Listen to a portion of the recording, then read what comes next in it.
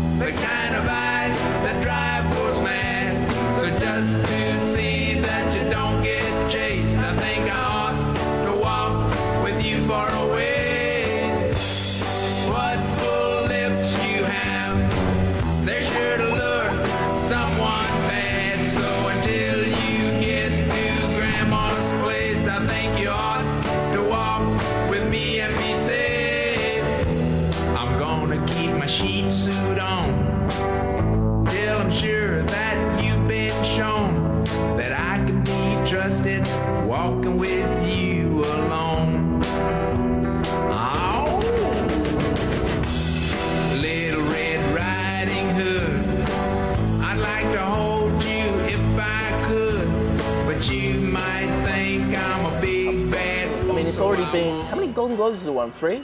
Oh, It was Best Director, Best uh, Picture, Best Actor for Leo. But I think the Oscars have considered it about 12, 12 Oscar nominations already. This- Alejandro Alejandro. Gonzalez, Gonzalez Inarritu. Inarritu. He's an amazing director. Uh, in fact, I think he's made some of the best films in the last 20 years. Have you seen Amores Perros? Amores Perros, yeah. And he did uh, 21 Grams. That was his American version of Amores Perros. And Javier Bardem and beautiful. Javier Bardem is And- amazing, amazing and actor. Also, of course, uh, Beautiful. we had Yeah. Birdman. He did Babel as well. Yeah, he comes in a Revenant, and the, Yeah. the stuff he gets out of DiCaprio, and, and I mean Tom Hardy Yeah. is unrecognizable. Oh, look at this film, and he's Tom got Hardy. that southern drawl, and you can't even tell what he's talking. In my opinion, I think Tom Hardy should get more of the praise for his performance in Revenant than Leo did. Look, he's got more of a speaking role than Leonardo DiCaprio. DiCaprio has a largely unspoken uh, performance. He he says quite a, a bit towards the end, a little bit at the beginning, but It's a most of the physical film, role. It's He a it's a physical kind of Yeah. performance where he's just walking and surviving and challenged by the elements and overcoming them, having to run and hide between the Americans, the French, and the Indians. I've always had issues with Leonardo DiCaprio you know, Yeah. through his films. He overacts. uh, Some of his earlier ones, he just puts so much into it, and it puts, it's so animated, and I think, oh, So it's a little bit too much. But for this film, you have to be that way. It's so much survival symbol. And he's so dedicated to every performance that he brings to the screen, and in particular this one because Sig he done he, he did some of the craziest things I've ever seen. He actually ate a liver from a bison, and it is well known that Leonardo DiCaprio is a vegetarian. They You know? gave him a, a, a gelatin pancake, and he looked at, took one look at it, and said, "Stuff, this This is not real. I'm going to eat it. Like I Yeah. said, I'm going to eat." He this wants liver that rather than-" Oscar. It's such an incredible film, and with, No, I'm with not so sure about that. You know. well, you, you didn't, You you weren't mean- so impressed by the film. no, you mean win Best Actor or Oh, Best you mean Film? film? Hey, Sabina, how are you? How are you today? haven't seen you in a couple of weeks. Where have you been? No, it's been a while. I had a little break. Yeah, Yeah, but I'm back. So how that's are good. you? Not too bad. What's going on? Oh, on? Sig, I'm so hungry, man. Yeah, look. Yes, what's that? and I'll be back to take you in a few minutes. Would you Yeah. like some drinks? Yeah, we Uh, can I get a Dr. Pepper?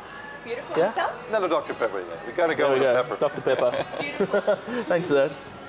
But yeah, Uh, um, yeah, wh- looks why do you think? Why do you think he's not going to be considered for uh, the you mean Oscar this Oscar? Best Actor or Oscar Yeah, Best. Film? Best actor? You, you were you were mentioning about Leo's chances of winning. I, I could say I, I have not seen uh, Fassbender and Steve Jobs, and Yeah. so I can't really comment on that. But apparently, it's very good. I'll comment when I see that. But will the Fassbender good. performance be considered for this year's Oscars? Yeah, yeah. Oh yeah. Should okay. Be. Yeah. Plus, um, did you know DiCaprio was talked about for possibly being Steve Jobs? and he dropped out of that. Yeah, yeah, how- how funny he is that? into the redneck. Yeah, yeah. The, the two things there. but but some of the things he did, and, and how about that unbelievably iconic, horrific bear scene in this thing? Oh, but you know what? I, I was mentioning to you just a couple of days ago, uh, Man in the Wilderness, a film with Richard Harris made in 1971. Yeah, yeah. It's an almost identical film because both films are, are based on the same story. Uh, uh, Hugh Glass. Yeah, it was. Was it Hugh, Hugh Glass? Hugh Glass. Yeah. It wasn't a remake, but they're based on the same. It's the story. same yeah. story, yeah. And, then And both have a vicious bear attack in the film. It was 1823, I think, in Montana and South Dakota. These guys, they were trappers going across. Yeah, yeah. And uh, true story. This guy. It was a famous expedition that took Yeah. place there Incredible. outside of Fort Kiowa. I'm not sure. Yeah. Kiowa. Ki- Incredible betrayal and revenge. Yeah. And things. But but these two films, you know, it wasn't a remake. It Yeah. was based, but they're so different in, in a couple of really really key ways. Yeah. You know, for example, you know, one of, of, the, the main things is uh, when Yeah. he's attacked by this incredible bear, Yeah. and when they uh, they leave him for dead, Yeah. and they come back to their people. You know, in the Revenant, they, they lie about it and try and cover it up and get it. Yeah. And it's totally different in Man and Wilderness. They own up to the fact that they left him alive and left him for dead. And that's the thing, a, little bit more realistic to the original ones. And uh, Revenant was based on a Proper book by uh, Ma- Michael Punke, uh, who is some kind of uh, American diplomat. He's a novelist, he's a writer, he's a bit of everything. He's a very uh, well rounded uh, individual. Uh, and it was based on his 2002 book called Revenant, uh, a um, uh, d- d- d- d- novel of revenge, I think it was called. Well, the Revenant, Yeah. the word actually means uh, a man who returns as a ghost in a Yeah. different form. Hey, Sabina, Here are your drinks. thank you so much. Decide which you'd like. Yeah, um, Dr. Pepper. Can I just get a cheeseburger? Hang on. Yeah, I'll just get a cheeseburger on its own. Cheeseburger, beautiful. Would you like Done. some fries? No thanks. And yourself? I think I'll try the California Club sandwich. Thank you. Club sandwich. Beautiful. What bread would you like? Well, Brown or white? choices, choices, choices. Too many. I think I'll go for the brown. Thank you. Beautiful. Okay. That's coming great. up. Thank you so much. Beautiful. Bum. All this way from America, Fritz. Cheers, mate. but yeah, it, uh, the Man in Wilderness. What did you think of Man in the Wilderness? Do you remember the film? Yeah, of course. It's a fantastic It- movie. It, uh, I'm not so sure. I was not really enthralled, but just a basic pace of the narrative, you know, the film. The middle section, I think, really slowed down a bit. You know, that he was just trying to crawling around to get somewhere. And That- it That's went exactly what happened in The Revenant. No, it was much more exciting. No way. I, I, I thought it was very much, uh, apart from the fact that it was a modern film with modern production. you know, Yeah, yeah, yeah. The basic pace, I think, was a bit slow for me, you know. Yeah. Giving back. Look, in reality, though, after the bear attack that took place, so Hugh Glass in real life, he was the scout He on this really popular expedition that actually took place in, uh, what was it, 1823? Yeah. yeah. quite a few famous trappers uh, were part of this expedition, and Hugh was one of them. He was a scout, so he was around for quite a few years uh, in this part of America. This is north central Montana Yeah. and South Dakota. Yeah, Very South desolate, Dakota, snowy. around that area, the Missouri River. These trappers were making a lot of money because the furs from all these different animals. Mm-hmm. They were uh, gold. They even they say were gold. gold. Yeah. Yeah. absolute gold. And the Indians wanted them too. Exactly. So the Indians were killing them left, right, and center, ambushing them from everywhere. But they also had to contend with the French. You're talking about that bear attack. and That's going to be the most horrific scene Oh of ever. And it goes for a while. And you think about it, it's, it's not a real uh, necessarily attack. It's, it's a mama bear protecting Yes. her cubs. And it was the things, it was computer generated, the, the Revenant version. the, the lengths that they went to that, you know, Industrial Light and Magic and the stuntman spent months getting that together, and, and the way they worked it through, they had harnesses and Yeah. cables. They were yanking DiCaprio around, Yeah, and they had rubber trees around there so you would, wouldn't get hurt bouncing off of them. You know, it was just it was that scene, Mm-hmm. and another scene where he's sitting by the fire. They used uh, glow sticks to uh, to make the fire look bigger than it was because was they couldn't only- control the fire. That was the only artificial light in the whole film. Exactly. Light. Those the two scenes, film. the bear and the fire, were the only two artificial segments of the entire film. Artificial the light, rest of it, light and artificial kind of CGI. CGI. Yeah, yeah. The rest of the film is completely natural light. And you know, while I was watching the film, I was just spellbound by the cinematography. It reminded me a lot of uh, Ridley Scott's first film, The Duelists, made in 1977 Yeah. which was completely uncorrupted by, you know, color grading or unnatural filtering. It was all natural and it looked absolutely beautiful. Another film it reminded me of was Black Robe by Bruce Beresford. Great film. Do you remember that movie? That was, uh, yeah, the St. Lawrence a Seaway. beautiful Fantastic. movie. Australian Bruce Brett. Very good. Did you know that in The Revenant, when the snow, sta- snow caps started to melt, they had to move production over to Argentina? Not only Argentina, they went to the Ushuaia, which is the very bottom of Patagonia. And I, I came you with serious? I came with 100 miles of that when I went to uh, uh, Punta Punta Arenas last year. And it is really snowy and desolate down there. And, and how's the landscape in terms of vegetation? Is it completely different? Well, it's it's just wild wild wilderness. You know, Yeah, there's yeah. a lot of snow and trees and mountains. Yeah. And it's not quite as desolate as the sea because they pick an area Yeah. which is was, is a lot of snow and desolation. But this is. Hey. A, Oh, wow. And here's the food. Sorry. I am so hungry. That's all right. thank you. There you go. There's your club sandwich. Oh, I got the chips anyway. and wow. you got some complimentary fries. Merci As a beaucoup. special today. Well, you know, we're, we're regular customers. Beautiful. Enjoy. Thank you so done well. much, Sabina. Thank you. Thanks. He's going to get the bill. yeah, that was right down the bottom of it. The reason Inarritu had to do that because, as you say, the snow started melting, and they're in Colorado. Sorry, they're up up in Canada, Alberta, Mm-hmm. and the snow melts. And where do they go? All the way completely down the Americas, right down to the bottom of South America. Next stop, Antarctica. Well, did you know that the original film version with Richard Harris, Man in the Wilderness, Yeah. which was made in 1971, it's considered a spaghetti western. Do you know Yeah. why? Well, some of it's filmed in Spain. Exactly. A lot of it was filmed in Spain because the Spanish desert resembles, in one more ways than another, uh, the the American wilderness. So Actually, it was in Mexico and, and uh, Arizona. There was a desert some of it was uh, in Mexico, was it? Spain, yeah, Mexico and Arizona further Okay. up. The, the Spanish scenes were the snow scenes. You think about the bear scene in that one, which came early in the film, and all was it was, intense, all though. it was was a, a couple of paws of the bear. If you look really carefully, and and then a couple of shots across to Richard Harris, and separate shots, and then individual long shots with them w- with a dummy, and that's all they could do because Yeah. they didn't have access to all the special effects. Very good editing. But it was a really exactly the Yeah. editing was fantastic in that film, and they they got that the the Scary. the emotion across of that scene. yeah, oh, It was really heavy. and it came very early in the movie Compared, It came quite early in the movie, and uh, you know that in- Indian ambush at the beginning of Revenant, Mm-hmm. that happened at the end of uh, Yeah. The Man in the Wilderness when they when they're stuck in the riverbed. Remember, and they got nowhere to go. John Huston and his uh, band of uh, fur trappers are just Oh. stuck there in the middle of nowhere. Let's talk about John Huston. He had that cool, he's the captain of the party, he had Yeah, that yeah. cool Abraham Lincoln almost top hat. He was the man. Now think about it, Fred. How would it be, this guy's a well known director in his own right, own right, being an actor and thinking. He was an actor in quite a few films. Yeah, but he was also He was a in. Chinatown. Of course, but he was Yeah. a director. And, and being a director, he's sort of actor. One, Mm. he'd sort of have to think, oh, who's this idiot? What's he doing? I'm a director. And two, you know, another, this, uh, the director of, of uh, Man and Wilderness, Yeah. Sarafian, what's his name?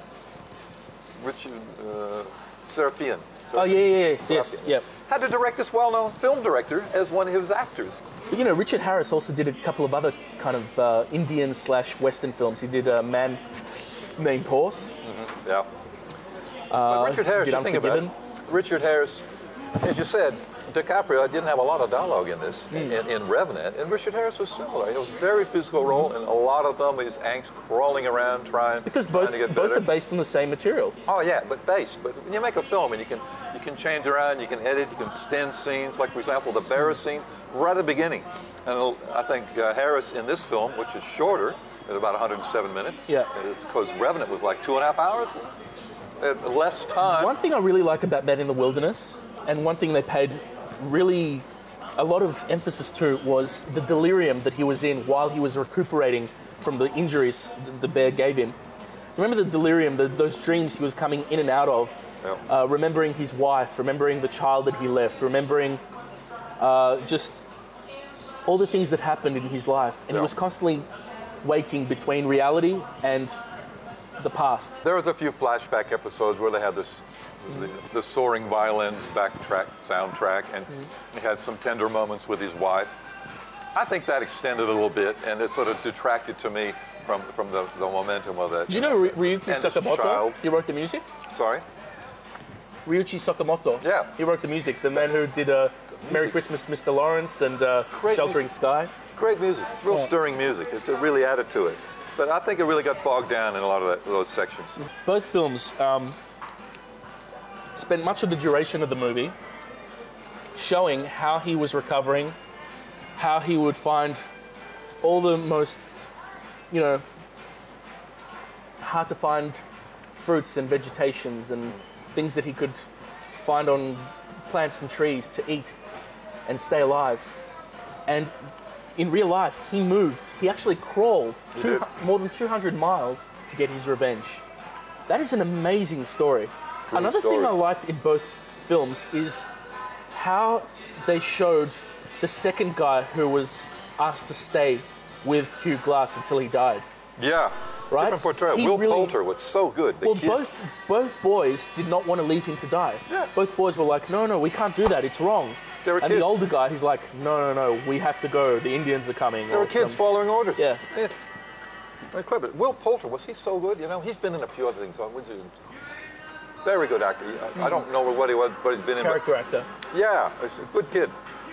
They obviously knew that and put him in a starring role. But uh, it's so good. And, and the other connection, you know, he, he rides this horse. It's up in British Columbia, a bit north where, from where I'm from, near Seattle. This scene where the Indians are chasing him, and he rides his horse off the cliff into a tree. Mm-hmm. And how does he survive that? By just hitting the branches and going down. The, that's exactly what happened to Rambo in Rambo 1 and in the same general country, mm-hmm. British Columbia, where that was made. You know? It's such a stunning scene. And then what happened?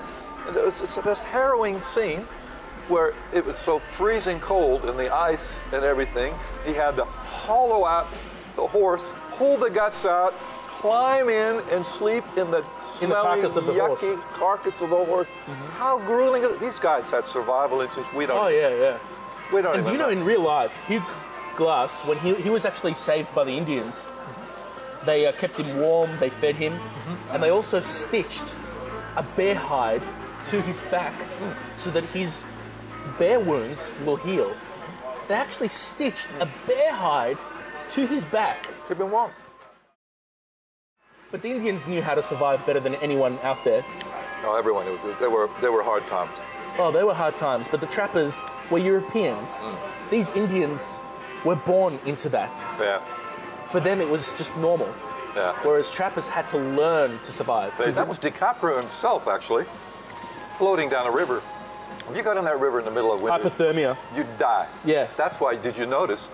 They It was the him. hardest performance of his career. They filmed him in the. Uh, in the summertime, if you look at the trees, they're, they're, Oh, really? Those less trees. He's actually floating down the Oh, river wow. I in the summer, and you got to look very carefully. Yeah. And, uh, no stuntman here. DiCaprio's right there, but uh, he, he he wants that Oscar bad, fair enough. Hmm. But uh, we'll we'll see. Tom Hardy, on the other hand, he's always such a method, dedicated actor. Oh, you always loses ridiculous amounts of weight, then puts on ridiculous amounts of weight. He has the most extreme diet regimes in preparation for his films. And even here, uh, you know that Tom Hardy and um, and uh, Leo DiCaprio, they were in Inception together. They were right. together in another film, so Very good film. wasn't the first time they worked together. Yeah. But Hardy, you know, I didn't, to be honest, I didn't know he was in it, didn't remember. And to watch this film, he's so hmm. into the character, he had a lot of hmm. hair behind him, and that southern drawl he had all the Such way through. menace he brings to the role. I did not recognize him, did not see, notice, realize it was him. That's hmm. acting. He was so into the character. He was hidden behind the hair a lot, but he's such menace. You know, he usually plays a pretty intense, introspective, and uh, he's a small man. And you didn't get that impression mm-hmm. in this. It's bigger than life. That's good acting. while I was watching The Revenant and Man in the Wilderness, I was thinking to myself, you know what this film reminds me of? Aguirre, The Wrath of God. A group of people going on an expedition in unexplored, uncharted territory, getting lost and losing their minds. Yep. And do you remember the music that was composed for the Werner Herzog film? Yep. was just so depressing Yeah. and so dehumanizing. And The music, it just said, was stirring, and it was just held you right there, and the intensity, even when something wasn't happening, it was gonna. Like, for example, that bear scene, was, the way they felt staged it was so incredible because it, Inarritu wanted it, Inarritu wanted it more natural. Because the bear actually wandered off to check her cubs for once. yes, and that well, incredible that's why thing. the bear attacked because he thought uh, he, that Leo was going to take the babies away. Yeah, but the incredible thing was, Leo's sitting there, you know, near, to death, wondering what's going to The bear goes off. So we're all thinking, as Leo's, oh my God, it's Yeah. going to come back soon. He's madly trying to get his gun or something, and uh, he pulls out a knife, one little knife. He had no choice. He had, he had two choices actually: either you live or you die. Survival. It's all about survival. But you know, those scenes are so raw, so realistic, and so intense, and they really make you appreciate just how powerful these animals are. Oh God, yeah, they're wild animals. You know what I love about both films? I love the way they explore the relationship between this European man lost on his own in the middle of nowhere between French colonies, American colonies, Yeah. and Indian colonies. And not just Indian colonies, but different tribes warring against one another. He's stuck right in that middle there. And you see the relationship that he builds between the Pa- Pawnee, the Pawnee, uh, Pawnee. tribe, yeah. But what I like about it is you see the relationship between him and the Indian uh, tribes people changing as his adventure progresses uh, because they start to respect him. They see what Because he respects them in both films. yeah, The, the, the alliance he made with Indian chief yeah. and, and they it was unusual. They were killing these people. Why were they killing them? Because he's invading They're white invaders. They're They- Not only yeah. that, they were taking their land, they were taking their crops, they were taking Everything. their animals, they were taking their women. Mm-hmm. This is why he formed an alliance in the Revenant because they abducted the chief's daughter, Yeah. and he inadvertently He saved them. He saved Her, her, and yeah. Mm-hmm. she, in the end, of course, saved him because of it. The very end. But also, he was married to uh, married. He he had a baby with a an Indian woman. Yeah. They He had a, an Indian son, a half caste. yeah. Uh, he was played by um, a, a boy named Forrest Goodluck. He's an boy named. Forrest. Not Forrest. He played Hawk, his son. Played him really well. A very natural performance. And that was something that was not in Man in the Wilderness. In Man in the Wilderness, he had a, a Caucasian child Yeah. with a blonde woman somewhere in America. Yeah. And those, those scenes, I think, detracted a bit from. We don't need to know all that. Yeah, yeah. Get back in it. And loving It was a lot slower in that respect. loving scenes and soft focus with the kid, which is an interesting backstory. Yeah. But the backstory and some of the things, as you said, he's a bit delirious in The Revenant, and Mm-hmm. he's starting to get mystical and thinking of some things. It's great cinema Mm. because you see these images and these scenes and the soft focus in the fog and these piles of things. It's, Yeah. it's part of the, being a Mexican director and not a European U.S. director. He's getting Yeah, yeah. some of those weird and wonderful things. Mm-hmm. I think, you know, The Revenant will do very good in Yeah. the Oscars, as we said. You know, the DiCaprio, but the film itself, it, uh, it's, it's a real standout. Oh, it's an incredible film. Were you at any time a little bit fidgety? And uh, did you have issues I with being moving. long? Two and a I was hours? moving constantly, trying to get a good, you know, position on the couch because on the seat where I was sitting. Because man, it was an edge of your seat right from start to finish.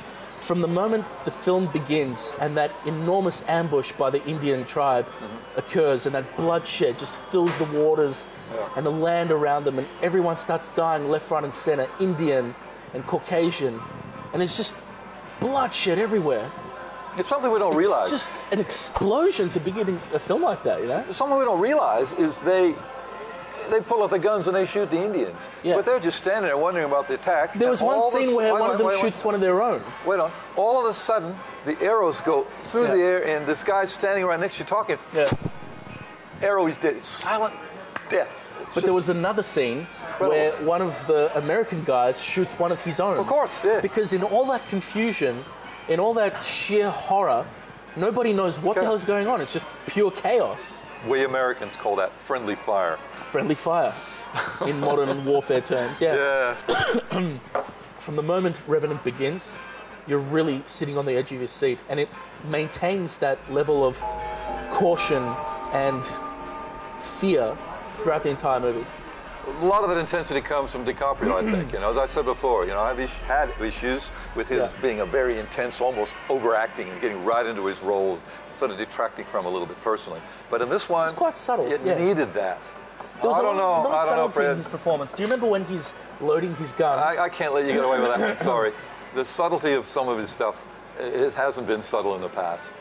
Can't let- Especially the end sequence where he looks directly at the screen. His face demands an Oscar. Do you remember that scene where he's just Oh, yeah. looking directly at the camera and then the lights go out? End of movie. Well, we fought all night and side by side we took our battle stance. And I wondered how the bullets missed this man. Cause they seemed to go right through him, just as if he wasn't there. And the morning we both took a chance and ran. Was near the riverbank when the ambush came on top of us. And I thought it was the end, and we were had. Then a bullet with my name on it came buzzing through a bush. And that big Marine, he just swatted with his hand. Just like a fly.